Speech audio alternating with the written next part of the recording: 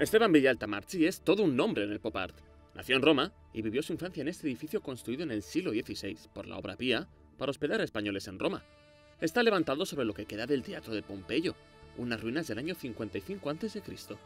Por el cuarto centenario de la Embajada Española ante la Santa Sede, Esteban Villalta Marchi recibió un encargo, restaurar a su gusto el edificio que le vio crecer.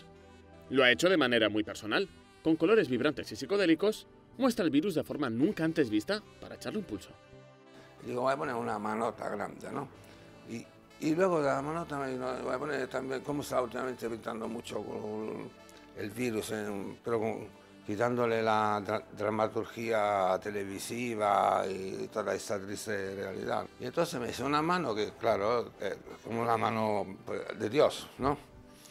Que está ahí y para Basta con echar un ojo a su taller para comprobar que Esteban Villalta Marchi tiene aliados de todo tipo para vencer al virus. Superhéroes, bailadoras de flamenco, los atracadores de la Casa de Papel. Precisamente en honor a ellos ha llamado a su intervención artística la Casa di Tela.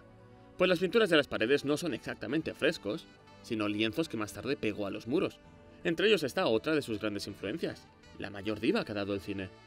La Marilyn Monroe, la- que es una icona, ¿no? ¿Sabes? En Europa siempre decimos la icona, eh, pero la quise bajar del Olimpo, donde estará, a- en medio de nosotros terrestres normales, y con la mascarilla que nos da como si fuera una de nosotros, pero ¿eh? sin darse aire, ¿eh? y que nos da un poco de esperanza y nos ayuda en eso. Este artista de orígenes españoles también cuenta con la ayuda de un villano de cómic al que mira con especial cariño. El Joker.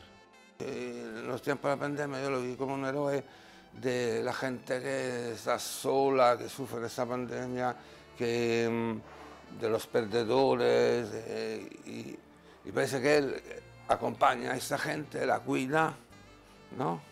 Y eh, para ellos es un héroe. En la que siempre fue su casa, Esteban Villalta Marchi combina el David de Miguel Ángel con figuras más actuales. Eso sí, todas presentadas de forma desenfadada. Es la historia. Ahí caminan juntos. Con todos sus referentes pintados con una llamativa paleta de colores, quiere enviar un mensaje.